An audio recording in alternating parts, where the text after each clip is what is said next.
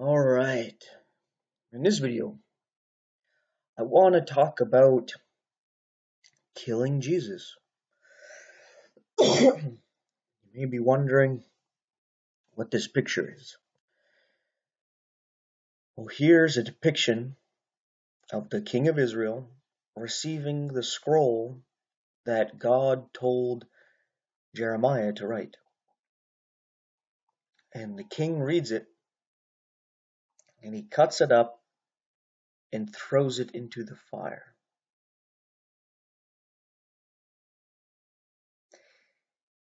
This is prophetic because God sends his word, Jesus Christ, to Israel and he rebukes the leadership. And what do they do? They end up beating him and humiliating him and putting him up on the cross, on the altar, and killing him.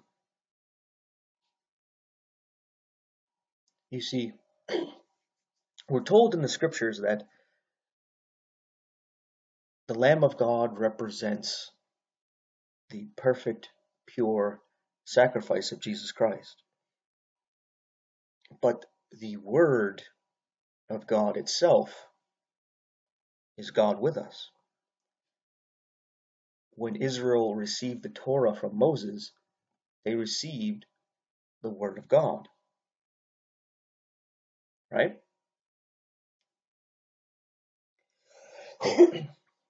God was with them.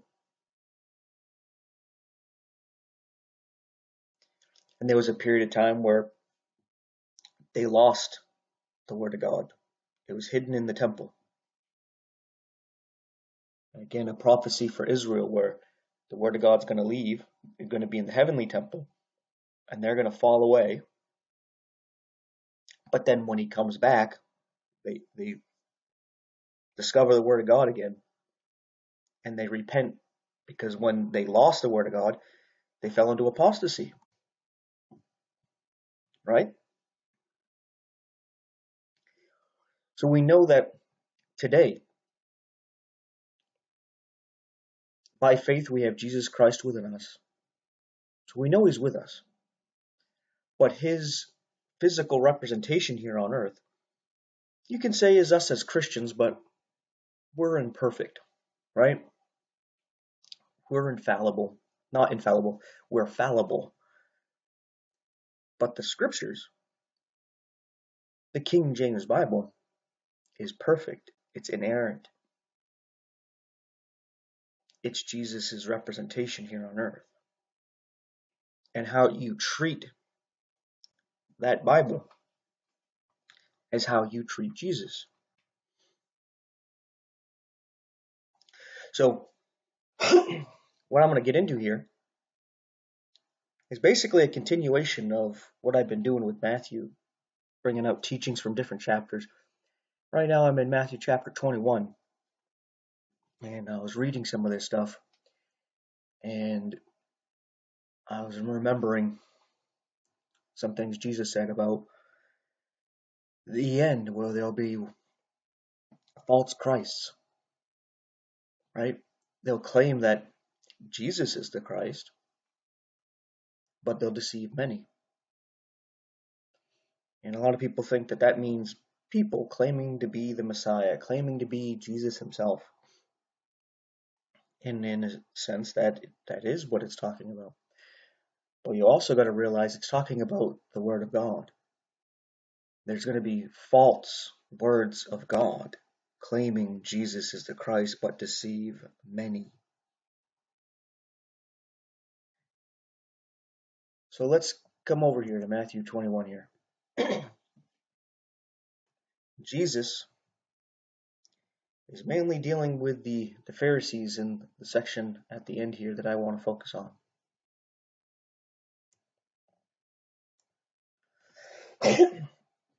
Uh, I'm going to go through these uh, paragraphs here. Matthew 21, verses 23 through 27, it says, And when he was come into the temple, The chief priests and the elders of the people came unto him as he was teaching and said, By what authority doest thou these things? Now, the context is, is that he, when he came into the temple, he threw out the money changers. Right? So they're like, What are you doing? Who, what makes you think you have the authority to do these things? And they're like, Who gave you this authority? And Jesus answered and said unto them, I also will ask you one thing, which if ye tell me, I in likewise will tell you by what authority I do these things. The baptism of John, whence was it? From heaven or of men? And they reasoned with themselves, saying, Now, now look at the hypocrisy here, that they're cowards that care nothing about the truth. There's a reasoning within themselves. They say, If we shall say from heaven, he will say unto us, Why did ye not then believe him? But if we shall say of men, we fear the people, for all hold John as a prophet. so they're trying to think, okay, how can we answer this? Because we don't believe he was of God, but the people do. So what do we do? Instead of telling the truth and saying, we don't we don't believe it was of heaven, we believe he's of men. Instead of just straight up telling the truth. They cowered and they gave a little bit of a a half truth because they could tell they just didn't want to right because of the reaction they would get from either answer right because they, they weren't concerned about the truth. They were concerned about their authority and their authority over jesus right? So they were just trying to find a way that they could answer to keep their status and to put Jesus down, right? Uh, which ends up happening when you talk to a lot of different people, uh, namely like Catholics. I'll talk to Catholics all the time, and I will talk to them about something in the scriptures, something that seems to be straightforward, right? And they'll say something along the lines of, "Well, who who told you to believe that?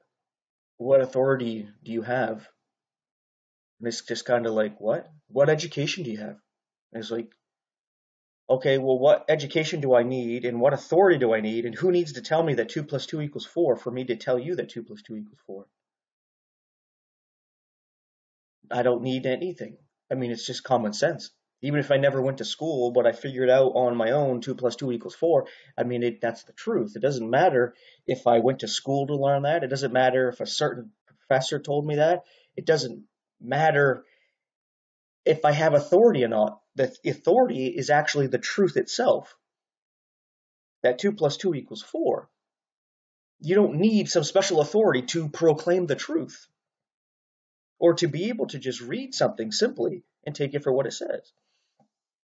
But when I was reading this, I was thinking that's a kind of the reaction I get from these people where you get something from uh, a recent topic I was talking with Catholics about was uh, Jesus's brothers and sisters, where you can clearly see it, uh, especially in Matthew 13, where it actually names four of his brothers by name, right? And they just act like, who who taught you that?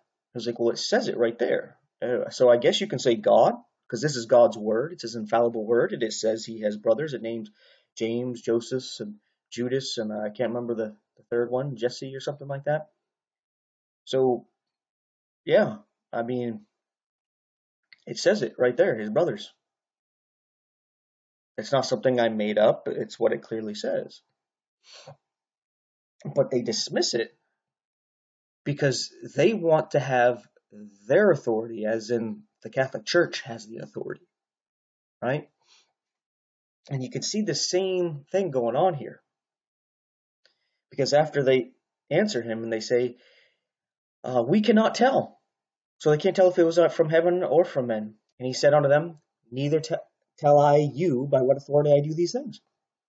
So he basically dismiss them, just like they, okay, we're not going to answer the question. We're going to dismiss John. Uh, well, well, he does the same thing to them then. All right, well, I'm going to dismiss your question and not answer you. Right?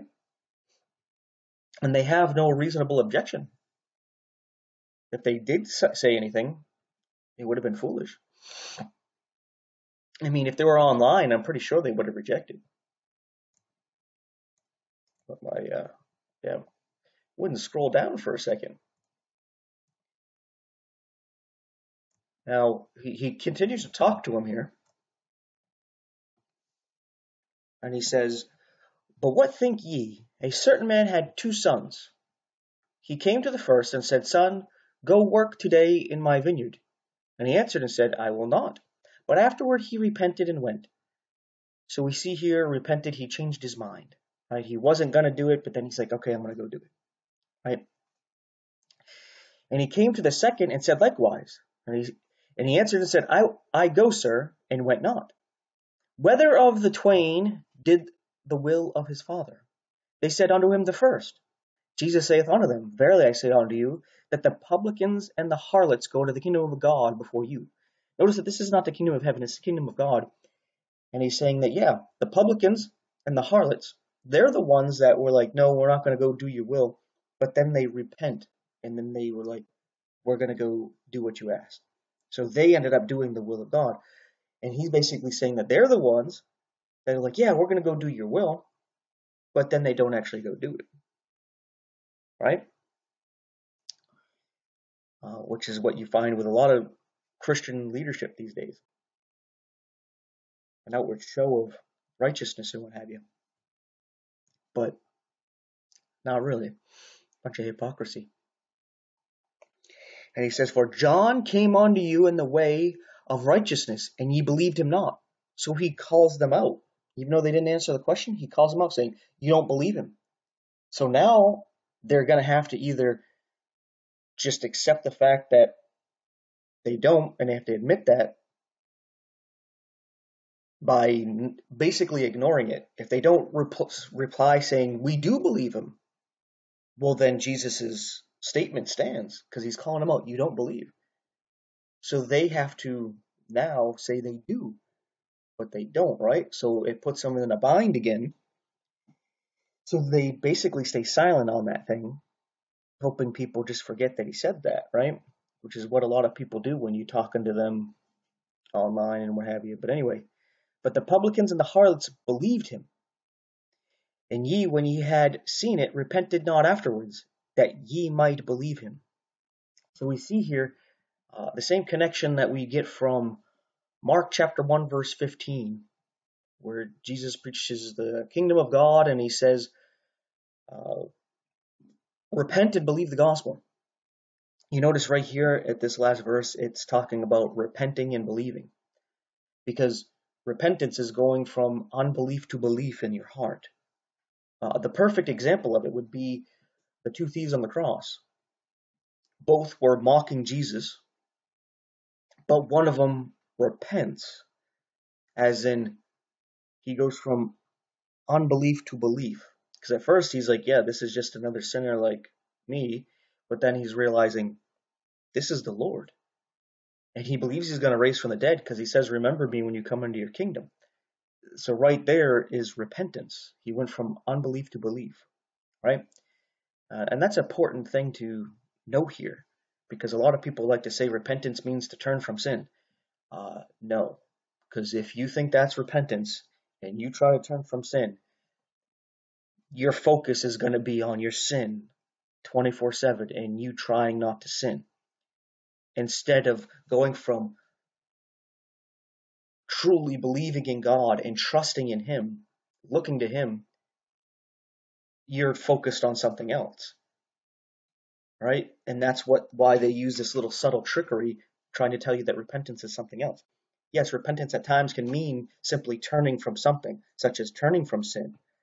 But they want you focused on that, turning from sin, when your focus should be just simply turning to God and believing Him.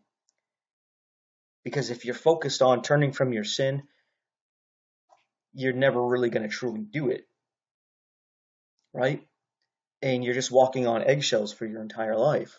You're never actually turning to God. You're constantly fighting yourself instead of just letting it go, turning to God, right? Trusting in Him. But uh, this one is what really triggered this this whole video for me. He's talking to them here about this parable. I was like, yeah, that's exactly what they're doing to Jesus today. So we got here verse 33 to 46 to end the chapter of Matthew 21. It says, Hear another parable. There's a certain householder which planted a vineyard and hedged it round about and digged a winepress in it and built a tower and let it out to the husbandmen and went into a far country. And when the time of the fruit drew near, he sent his servants to the husbandmen, that they might receive the fruits of it. And the husbandman took his servants and beat one, and killed another, and stoned another. Now, kind of like Jeremiah, right? What stuff that happened to him and the other prophets, right? Again, he sent other servants more than the first, and they did unto them likewise. But last of all, he sent unto them his son, that being Jesus, right? He's coming to them now, saying, They will reverence my son.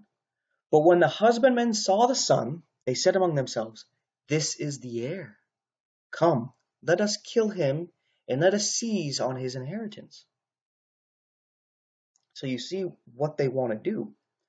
They know that Jesus is the Son, He's the rightful heir. He owns everything, right? So they're thinking, well, we're the husbandmen, right? We're, we can control we control this place right now. And if he comes and if we kill him, well then we're going to be the ones in control here. We'll be able to rule. So what do you think they're doing today? Well, they see the King James Bible. Like this is the authority, the authorized version. It's perfect, it, it's inerrant, it's infallible, and it's our the light for our feet. It's what we can trust in. Right? It's a rock for us to stand upon so that we're not tossed to and fro by the waves or building on shifting sand right? So what they want to do is destroy the King James. And sometimes they do it subtly by just saying, oh, here and there, this is not quite the right translation, and what it really means is here. And it doesn't seem to be like a big deal what they're saying, right? That's just a little change. It doesn't seem to change the meaning or anything, right? So you're like, oh, it gets you to doubt the King James, which opens the door for other versions. But then when you take a look at these other versions, you'll notice that there's a lot of changes. A lot of times they remove a lot of the verses. Uh, one big one that sticks out in my head right now is Acts 8:37, where it talks about the eunuch being baptized and what's hindering him from being baptized. He has to truly believe with his whole heart. They don't want you focusing on the belief because that's the true repentance, going from unbelief to belief. That's the key. It doesn't matter if you get baptized if you don't believe, right? So they do do things that actually change the meaning of the passage, that changes doctrine in these other versions. Sometimes there's passages that contradict. Uh, I remember reading the ESV and Isaiah 14, it calls Lucifer the morning star. And I was like, oh, that's weird. Because then I was like, flip back over to like Revelation in Peter, and Peter talks about the morning star. Jesus is going to give us the morning star that will rise in our hearts. And then in Revelation, Jesus says, I am the bright and morning star. And it's like, okay, uh, so Lucifer's the morning star too? So Jesus is Lucifer, Lucifer is Jesus? You can see the confusion that comes about right there, right? You start doubting things and being like, what's going on? So Jesus was the one in Eden that tempted Adam and Eve? He's the serpent? Wait, Lucifer's the one that died for our sins on the cross. You see how that mixes a whole lot of things up, a lot of confusion and doubt. So they get you to step back and be like, oh, I don't know what's what. I don't have a solid rock to stand on. I got shifting sand because of all these different versions, because you're doubting the King James. So now you're, what do you truly believe? Oh, we don't have the inerrant word of God. We don't have an infallible word of God. Then we don't have an authority, right? The authority basically becomes one of two things, more so one than the other uh, it's either going to become your favorite denomination, the one you agree with, right? And they're the one that's the authority now, even though they're just men and women like you are, right? They're not above you in any way. They're not closer to God than you are. We both can come straight to God, right? But all of a sudden now they're the authority. Oh, that's exactly what they wanted. They wanted to kill the heir so that they can have the inheritance. They can keep their position of authority. That's why they rejected Jesus as king. Because they knew if Jesus became king, they lose their authority. The Pharisees, the scribes, the Sadducees, the Sanhedrin doesn't have their authority over the people anymore. So they're like, hey, we kill him, we get to keep our position. And that's exactly why the King James is attacked. You destroy their authority, you destroy the king, Jesus, then who's the authority now? Oh, well, you can't trust the word of God. You know, all these Bibles, there's something wrong with it. So it's the church you got to trust. Well, which one? Well, you might pick one, but ultimately it, it all leads to Rome. Right? the, the new seat of the Pharisees and the scribes. Right? So, I hope you, you're seeing how this all is playing out today as well. Because when Bibles were being translated into other languages, what did the Catholic Church do? Seized them and threw them into the fire. Huh. Is that history repeating itself or what? Oh, it's because they're heretical and there's errors. But they're not going to tell you the heresy that's in them. They're not going to tell you the errors. They're just going to tell you that's what's what, and you just believe what they say because they're the authority. You don't get to look and decide for yourself. Well, I'm pretty sure that's what the king will say. Hey, why'd you throw that into the fire? Oh, it's full of heresy and errors. Well, what's the heresy? What errors? Can we read it to see what it was? No, I'm just going to protect you from that and throw it into the fire. Oh, oh, oh, yeah, thank you. Thank you so much for that. You're such a great king. You know, because when you're in a position like that, and as a king, a government authority, religious authority, our sinful natures like that position, and we don't want to let it go we don't want to end up submitting to God because we like being high and above others. We all have a little bit of narcissistic tendencies. Uh, but anyway, let's continue with this. It says here at verse 39 And they caught him and cast him out of the vineyard and slew him. When the Lord therefore the vineyard cometh, what will he do unto those husbandmen? They say unto him, He will miserably destroy those wicked men thus condemning themselves with their own words, right? We're all judged by our own words, and they agreed. They are those husbandmen, so they said, hey, destroy him. And will let out his vineyard unto other husbandmen, which shall render him the fruits in their seasons. So he judged them by their own words. Right?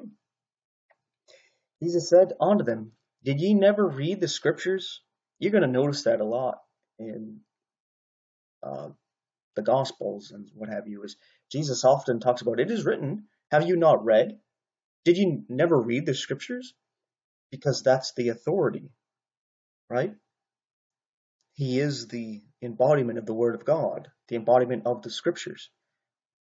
Like everything he says and do does has to do with what is written. It's crazy. It's like the Bible is his DNA or something, his lifeblood. But anyway, uh, he says, Did ye never read the scriptures? The stone which the builder rejected, the same has become the head of the corner. This is the Lord's doing, and it is marvelous in our eyes. Therefore I say unto you, the kingdom of God shall be taken from you, and given to a nation bringing forth the fruits thereof. And whosoever shall fall on the stone shall be broken, but on whomsoever it shall fall, it will grind him to powder. And you see, they said this as an answer to his parable. So he's like, okay, well, that's how I'm going to judge you. You see, this is just like the wisdom of Solomon, where he makes righteous judgments. Like the uh, woman who came trying to get her son back from the woman who took her baby because her baby died. Right? The woman's baby died, so she took the other woman's baby. And Solomon's like, okay, you know what? Let's just cut the baby in half so you can each have half the baby. And the one, one woman was like okay with it. The other one was like, no, no, no, no, it's okay. She can keep the baby. So then he was like, oh, I know which one's really the mother. Right? You judge them by their own reactions, their own words. And that's what Jesus did here, that same wisdom. And judge them by their own decree. Right? And uh, where he talks about this rock, he is that rock. Every time you read about Petra, the rock in the scriptures, it's talking about God, the Messiah, Jesus Christ. You fall upon him, you are broken, and you realize you can't save yourself. And then you call upon him to save you, and then he heals you and restores you. He needs to break us because of our sinful nature. We're very rebellious. You know, like there's certain children that just won't submit to you, even when it's you're you want to do things for their good. They just fight you, right? They look at you as the enemy, and you gotta punish them. And then at times you gotta whoop their ass because you have to break their stubborn will, or else it's going to hinder them and put them on a course that's going to be self-destructive, right? Because they're just like a rebel without a cause. There's no actual point other than to rebel, right? That's basically all it is. You tell them, hey, uh, take better care of yourself. And they're like, you know what? I'm going to do even worse, right? They just do the opposite for some reason. But once we are broken, like when you finally get the child to smarten up, then you can heal that relationship and you can start building them up right? You can actually start teaching them and giving them wisdom of life. But first, they have to have their will broken so that they'll even listen to you, so that you can help them and heal them and get them uh, ready for life, right? Uh, but anyway, it wraps up by saying, And when the chief priests and Pharisees had heard his parable, they perceived that he spake of them. So it finally clicked right? But when they sought to lay hands on him, they feared the multitude because they took him for a prophet. So you see here, they they're very foolish, right? They perceive that the parable is about them, that they would seize him and kill him, and they're like, yeah, that peril's about us. Let's seize him and kill him. it's like you're fulfilling it, right? It's just crazy how that all works out right there that even though they realize it's about them, they don't think, hey, maybe we should repent. They're like, no, let's seize him and kill him and fulfill what he said, proving that, hey, uh, when the Lord comes, he's going to destroy those wicked men. They don't think, hey, we don't want to be destroyed. Right? So, uh, yeah, that's just uh, crazy how that is. Uh, but you see how our sinful nature is this rebel rebel without a cause. You want this authority, right?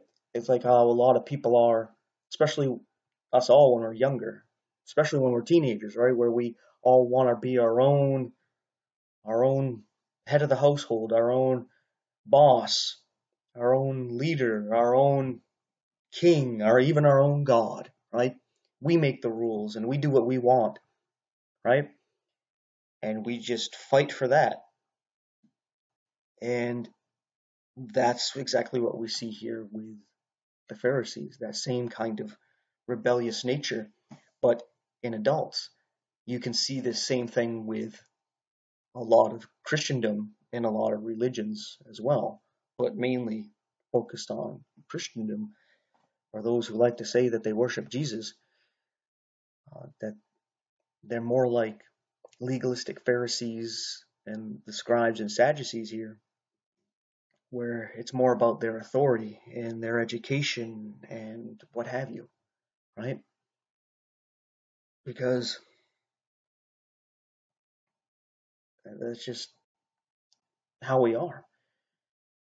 And even when it's pointed out to us, like how Jesus pointed it out to them how they are, they just stuck with it. How dare you point out how we are? Let's grab them and kill them. When he pointed out that's exactly how they are. Right? It's just, it's strange because uh, there's times where uh, I talk to these people, namely a lot of different Catholics, and you you show them their hypocrisy, and they'll just double down on it. Right? You show them how they're wrong, they'll even agree with you, like they did here. They agreed to, with this parable that, yeah, those people should be destroyed. But then they're like, no, no, no, no, no, we want to keep that authority anyway. We're not going to repent. It's that same thing. You you talk to like uh, some of these Catholics, you talk to them about grace, they were like, yeah, it's unearned, it's undeserved, it's a free gift of God. Yeah, yeah, yeah. I'm like, okay, then why do you say that you need to work to be in a state of grace? You need to earn the grace. Isn't that a contradiction? How does that make any sense? Like, you say it's the free gift, but you, you have to pay for it with your works? Because if you don't do the works and all these different things, then you're not going to get the free gift. I mean, you don't see how that's a contradiction. And they'll just double down on it. A lot of times they'll just say, yeah, you got to work for the grace, but the grace is unearned and undeserved. And it's like, okay, um, what do you do with that? It's, they're hard hearted and prideful. And the Catholics, a lot of times, they live vicariously through the Catholic Church and the Roman Pontiff, their, their Pope. They live vicariously through them. So if you destroy their authority, you're basically destroying that Catholic you're talking to. You're destroying their authority because they see themselves as part of that Catholic Church, that family. And they'll fight for that because it boosts the ego, right? We're part of the church from the uh, that the Jesus and the apostles established, and we're the one true church, and you got to be part of our church to be saved. And when you show them that, uh, no, you are an apostate church that is falling away from what Jesus and the apostles actually taught, you destroy that. You destroy that little bit of ego they have, and you cause a narcissistic injury. So you can tell these Catholics are narcissists is because of how they react to the truth. Now, uh, they seem like normal, reasonable people, right? And you can talk to them, and they're fine, you know, talking just like you talk to anybody, really, right? But then when you disagree with them on, let's say, a Catholic view, they'll be like, okay, let's talk about that. And then when you show them how they're wrong and you're right, when you're talking just like this, nice and calm, not being rude or disrespectful, you're just showing them, hey, look, something like Jesus had brothers and sisters, or, or Joseph consummated the marriage with Mary after she had Jesus. you know, something simple that's not even a, like, what's the big deal? What's the big deal that Mary is not a virgin? Why is that such a big deal? Like, she was a virgin when she conceived and, and gave birth to Jesus. But then she consummated the marriage with her husband and she's no longer a virgin. What's the big deal about that? Why is that so off? and taboo. And then all of a sudden, you know, because of narcissistic injury, all of a sudden these reasonable people start getting all upset and you, you know you don't talk about religion and politics and and and uh, they start just throwing out ad hominem attacks. They'll start using straw man arguments. They'll start just going off on Luther, how Luther's just the devil, and Protestant, uh, Protestants, uh, Protestants, Protestants, and they just all of a sudden, like they short circuit, like they're AI or something, and you mess up their programming, right? And they they don't want to repent, to turn from their unbelief to belief, their unbelief in how Jesus already saved us to belief in how Jesus already saved us. They don't want to do that, right? Because it takes away from their own authority in their own life and their own power to save themselves to feed their own ego, thinking I'm better than other people because I'm in God's one true church and I'm doing all these things to earn my place in heaven because I'm so great. And since I mentioned that, I might as well end the video with this parable that Jesus tells us in Luke chapter 18.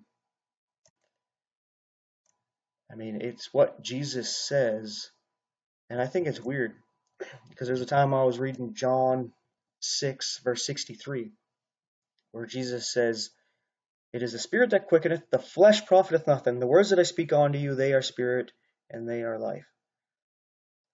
And they were saying, Oh, so you're saying the flesh profits nothing? They'd be like, No. But you just said it.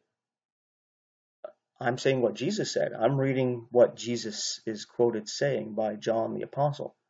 It's not me saying it. I'm just reading what Jesus said. Right? And it's weird how they how they do that. I don't know if you've experienced that, but there'll be times where I don't put my own words into a comment. I'll just quote scripture, like a copy and paste kind of thing of a scripture, a verse or two, maybe a paragraph like this. And they'll act as though that's your opinion. Oh, so you think this? And it's like, why are they acting like that's my word? That's the Bible. That's the inspired word of God. That's God saying it. That's not me. Why are you attributing it to me? But you know that they do this subconsciously because they don't want to admit the truth that they're rejecting God and what he says. So they have to convince themselves that it's you, it's your word, it's your translation and your interpretation. And they're not rejecting God, they're rejecting you. Right? And it, it's just weird, this defense mechanism that goes off. I'm not rejecting God, I'm rejecting a man. No, that's not what's going on here. I'm not the one making up this doctrine. I'm not the one who wrote the Bible. You're rejecting the inspired word of God, not me. You just like to project it to me. Blame the messenger instead of the message for some reason. But anyway, here in Luke 18, verses 9 through 14, it says, and he, Jesus, spake this parable unto certain which trusted in themselves that they were righteous, and despised others. And this is the same attitude you get from Catholics and Seventh day Adventists and other legalists. Like they got this attitude that, oh, what we're doing makes us righteous, and others, you're not righteous because you're not doing what I'm doing.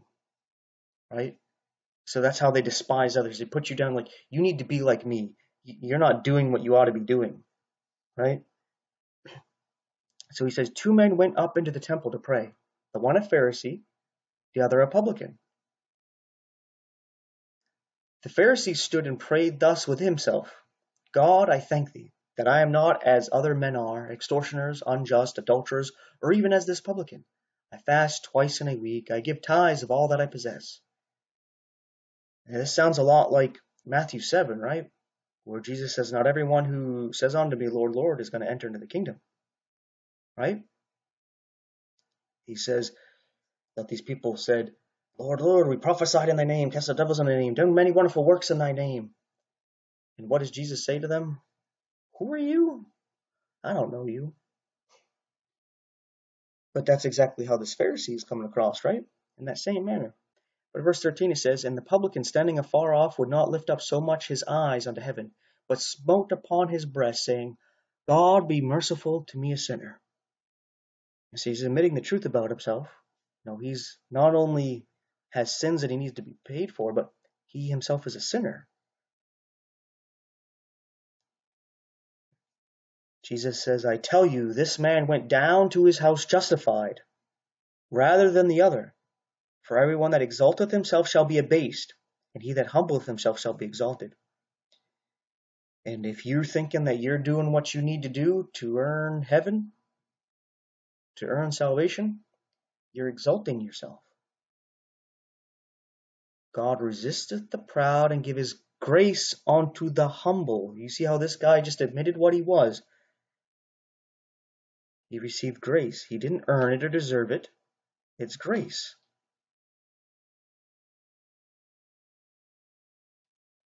Right? So, just to wrap it up, they want to destroy the Word of God like this. But since they can't do that because the people look at Jesus as a prophet, they look at the King James as authoritative, they can't just do this to it. So what do they do? Okay, well, we have to bring up other ones, right? And to get you to doubt in the true Messiah. And that's kind of what happened after Jesus showed up. All of a sudden, a bunch of other people claiming to be the Messiah showed up. And it's just a, a way to just dismiss everybody. Oh, yeah, everybody's the Messiah. Yeah, whatever.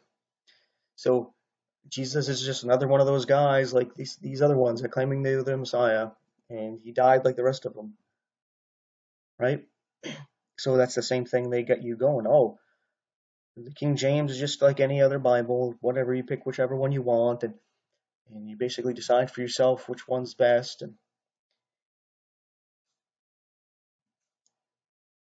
so it's basically if you were lost out on a desert island and you had the King James Bible, you wouldn't have everything you needed because you also need the other translations to compare it to because you don't know the Greek and Hebrew. So you need the other translations to compare it to, and then you have to decide for yourself which one's correct. So basically, whichever one agrees with whatever you think it ought to be, your imagination, your speculation, your personal beliefs.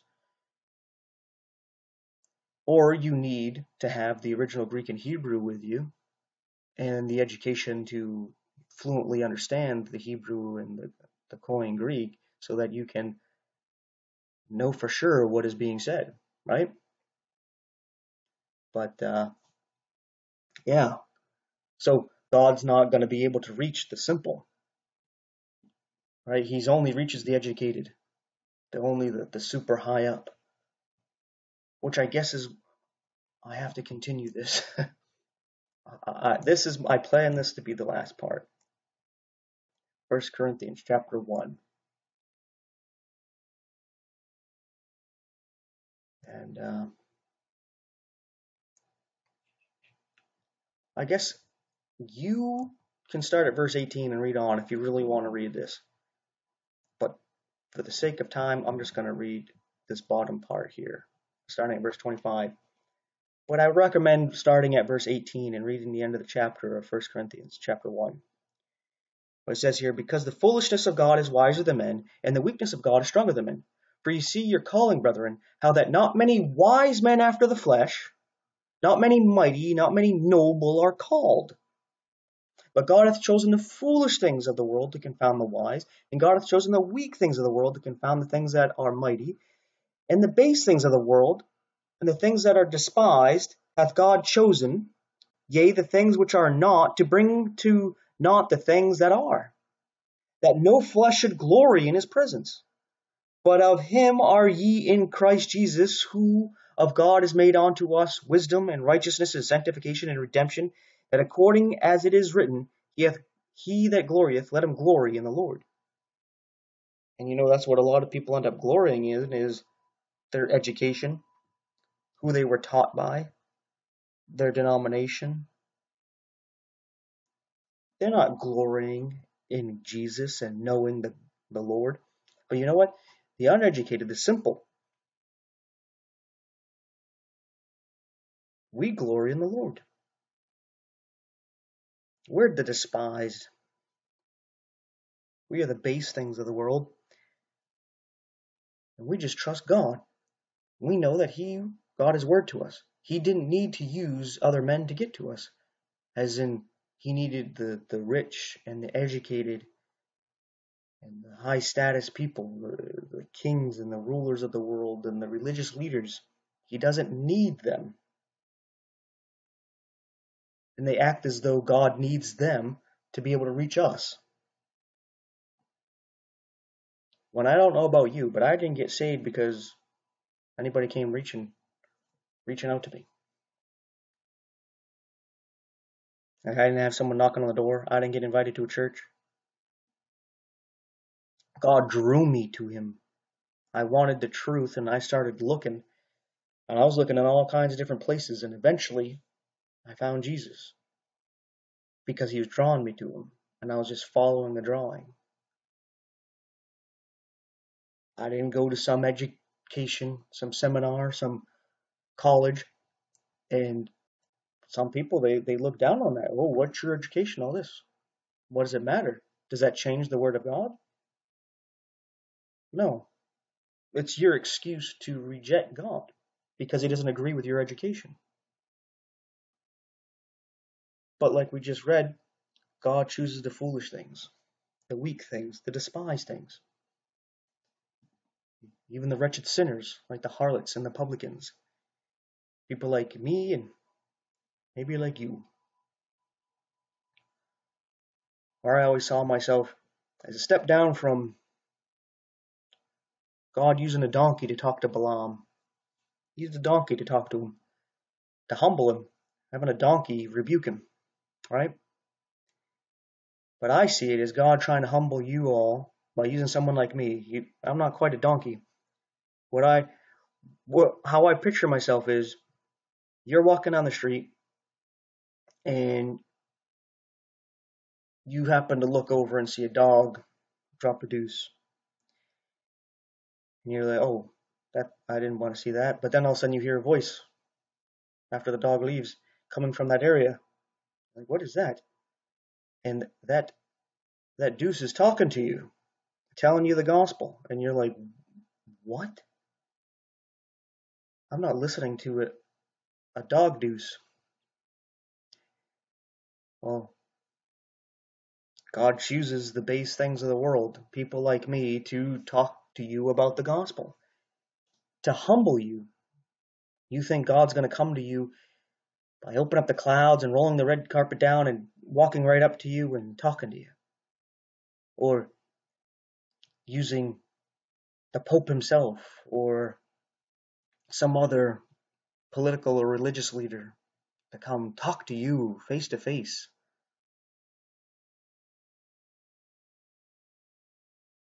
No, eat the humble pie and listen to the dog deuce. All right? So thanks for watching and take care. All right, here's the three verses that I like to put in all the videos here. Isaiah 34:16, seek ye out the book of the Lord and read, so that Jesus doesn't tell you what he tells the Sadducees here in Matthew 22:29, ye do err, not knowing the scriptures. It's not that you err in error because you don't know the the one true church that happens to be your denomination, or that you don't know the, the fundamental beliefs or the Nicene Creed, the Apostles' Creed, or whatever creed, or that you don't know the magisterium or the clergy or you don't know your favorite pastor or priest, that's why you're in error. No, you're in error because you don't know the scriptures. You need the scriptures to test to see whether or not those are correct, whether those are the right traditions, whether those are legitimate clergy, whether that church is actually following God, and whether those creeds line up.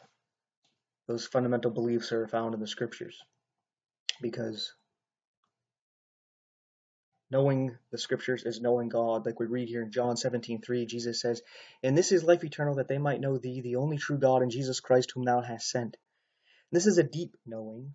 As Adam knew Eve and she conceived, you need to know God in like manner, so that you may be born again, that his word, his seed, abides in your heart, where you truly believe that Jesus Christ is God in the flesh, that he died in your place and gives you his life in exchange, so that your righteousness, your good and your bad, your life, past, present, and future, died 2,000 years ago. Your life is His. He can do what He wants with it. He puts it to death, and He gives you His life in exchange, His perfect, eternal life. That's the deep knowing you need to know of God. So, there you go. Do you know Him? Do you want to know Him? You get to know Him. Thanks again for watching. Take care. That fella couldn't join the church. He couldn't join the church. He couldn't get baptized. He couldn't get baptized. He woke up with God. He woke up with the devil. Are you saved? So that fella didn't take the sacraments, didn't take the sacraments. Didn't say the rosary, didn't take the rosary. Didn't tithe, didn't tithe. He went to heaven, he went to hell. You saved? Didn't keep the law, he didn't keep the law. He broke the commandments. He broke the commandments. He didn't keep the golden rule. He didn't keep the golden rule. He woke up in glory. He woke up in the pit. Are you saved? You're saved. If you're not saved, you're over here or you're over here. You sure ain't in the middle. He said, Lord, remember me, thou comest thy kingdom. And Jesus turned to him and said, Verily I say unto thee, today shalt thou be saved. It's like that. You have been saved? If you ever saved, you were saved like that.